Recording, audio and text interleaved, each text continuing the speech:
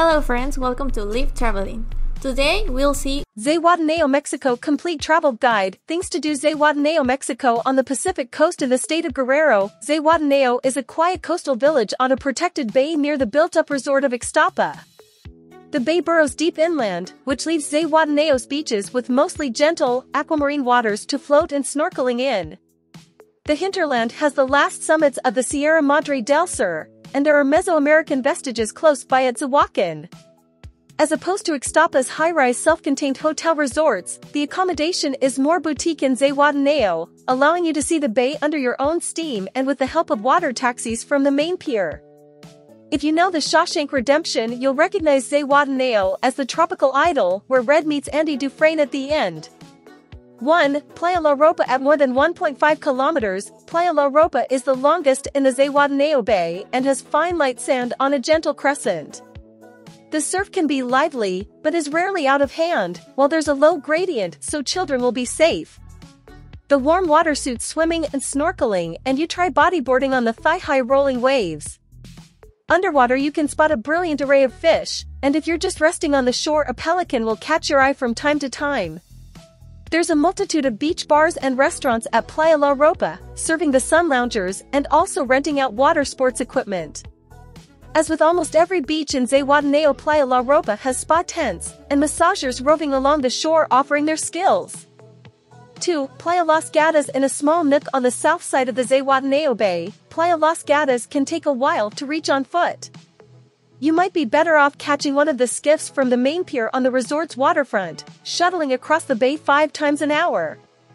Every inch of this narrow beach is traced by parasols and sun loungers, managed by the 12 beach bars and restaurants amid the palms behind.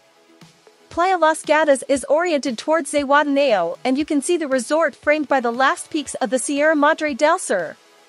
One of the best beaches for swimming or just floating around, Playa Las Gatas is lapped by low waves that graduate to small swells attracting a few surfers in summer. There's a lighthouse on the promontory at the entrance to the bay, reached by a winding trail.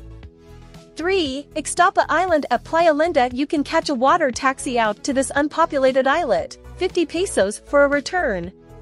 Ixtapa Island has four beaches, each with a different orientation, but all screened from the brunt of the Pacific Ocean. The pick of the beaches is Playa Cuachalalate, which faces the mainland and has a shallow arc of dark sand, palm sunshades, sun loungers and five beach bars to the rear for fajitas, tacos and an ice-cold beer. Moments away on foot, Playa Coral is in a large cove with a reef that has vibrant underwater life, so remember to bring your snorkeling gear. More remote, Playa Carey is loved by naturists, while the sandy Playa Varadero is a good alternative to Cuachalalate with the calmest waters of all. For Xihuacan also known as La Soledad de Maciel, Xihuacan is an archaeological site not far along the coast to the southeast. This settlement was occupied for more than 3,000 years by three different cultures, Tamales, Quittaticos and Tepaztecas, while excavation work only began as recently as 2007. A small museum has been set up on the site offering context about the monuments that have been uncovered so far, and presenting artifacts like steels, ball court hoops, jewelry and the contents of a burial chamber. At the site there's a massive ball court, possibly the largest of any Mesoamerican site, the base of a pyramid covering one hectare and a rise with rock carvings and what may be an altar for sacrifices. 5. Diving with its warm seas and vibrant marine life, it's no shock that Zihuatanejo is a big-time diving destination. There are seven dive centers in the Ixtapa Zihuatanejo area. If you're new to the activity you couldn't wish for a better place to make your first open water dive. You could get your PADI certification in a matter of days, while kids can learn the ropes on a bubble maker course. You may already have many hours of dives under your belt, in which case Zihuatanejo is a two-tank diving playground. Underwater temperatures push 28 degrees Celsius from June to October, and diving in canyons and coral reefs you may see whale sharks, seahorses, manta rays, dolphins, sea turtles, sharks, and moray eels. 6. Water sports If you have a snorkel and flippers you can slip into the rockier parts of Zihuatanejo's beaches to glimpse an incredible variety of underwater life just meters from the shore. This equipment can also be rented, and almost every beach on this list also offers an array of gear, from jet skis to kayaks. The currents in the bay are light enough that you could embark on a half-day guided kayak tour.